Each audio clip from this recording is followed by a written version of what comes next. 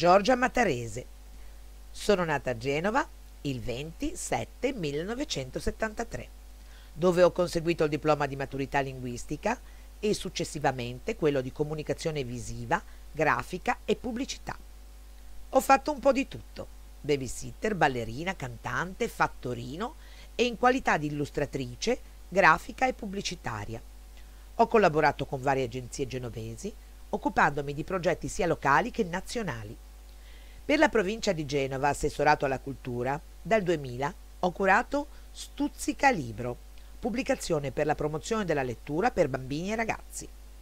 Per 11 bellissimi anni sono stata insegnante volontaria di grafica all'interno della terza sezione della casa circondariale di Marassi di Genova, progetto Custodia Attenuata.